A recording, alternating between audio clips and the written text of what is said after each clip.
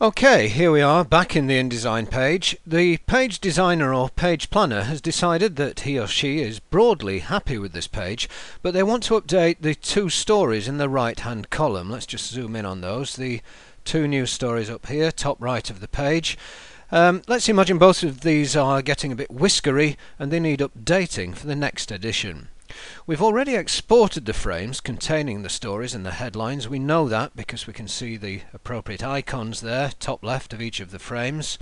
The next task is to link them together as an InCopy assignment for an individual sub or reporter to work on.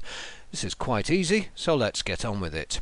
The first task is to simultaneously select the four objects in question. So go to the Direct Selection tool, select that, hold down your shift key and then select in turn the two headlines and the two stories.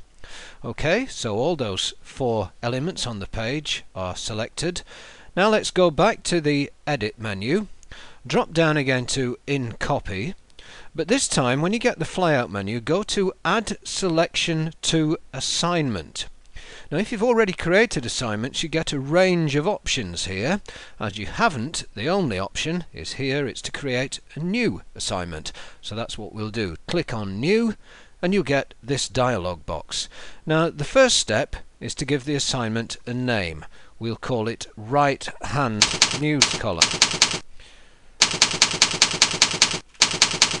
There we go with that. Uh, you've also got the option here of assigning this to a specific member of the team. You don't have to do this and it doesn't prevent anyone else from opening it and working on it, but it can be a really useful way of keeping track of who's working on what.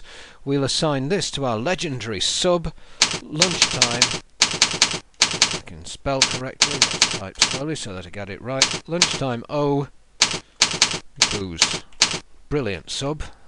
Whoops, let's change that to uh, that, there we go, lunchtime out booze. It looks as though he's been on it already here.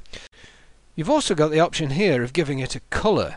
This means it will be highlighted in this colour on the InDesign page so that we don't forget that we've assigned this area of the page to a colleague. If you have more than one assignment on the page, it's useful to have different colours for each of them. We'll make this one red, assigned red, and before we finally save, make sure you're happy with where InDesign is going to save it. Here's the destination.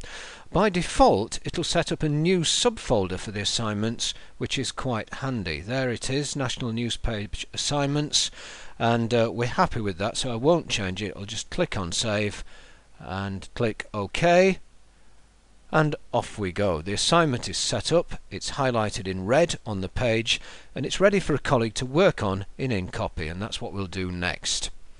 Incidentally, if you do this and it doesn't change colour, go into your View menu and drop down to here and make sure you haven't hidden the assigned frames which I'll do now just to show you what happens.